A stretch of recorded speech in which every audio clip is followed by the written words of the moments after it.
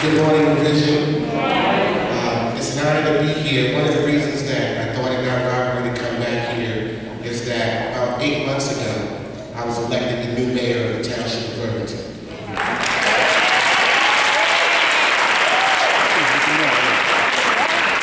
And my running mates was also elected. I would just like to introduce them to you. Would you please come forward, Councilwoman